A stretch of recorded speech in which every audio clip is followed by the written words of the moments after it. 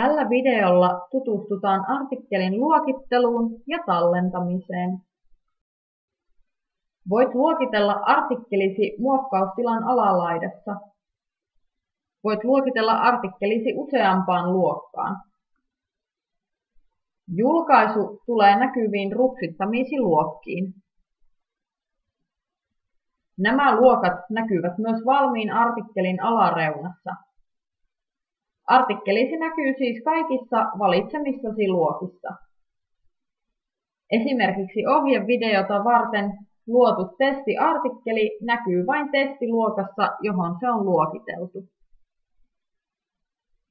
Luokituksia voit muuttaa tarpeen mukaan. Luokittelut jakautuvat alaluokkiin. Täältä löytyvät luokitukset myös englanninkieliselle OpenMetsän wikisivustolle. Harjureittien hiihtoladut luokka jakautuu reitteihin. Reiteistä löytyvät lumikenkäreitit, Montellin reitti sekä puulajireitti. Kohteista löytyvät pääluokat. Luokka 360 jakautuu kesä- ja talvikuviin.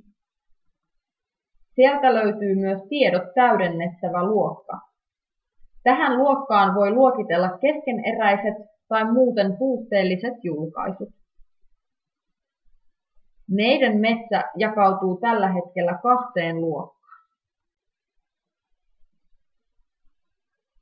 Metsäoppimisessa luokasta löytyy useita alaluokkia ja nämä jakautuvat vielä alaluokkiin.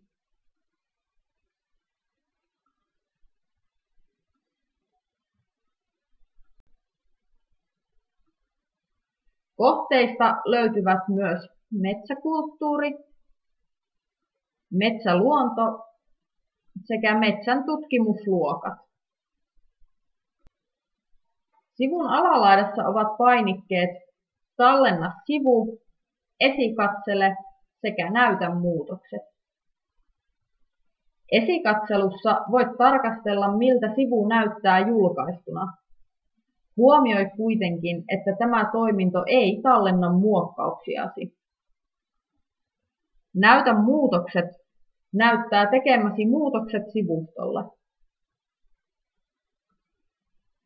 Artikkelia tai julkaisua kannattaa tallentaa usein. Sivusto saattaa kirjata sinut ulos tietyn ajan päästä tai internetyhteydessä voi olla ongelmia. Silloin tehty työ menee hukkaan. Seuraavalla videolla päästään muotoilemaan tekstiä. Tämä video on toteutettu metsäoppimisympäristönä hankkeen rahoituksella.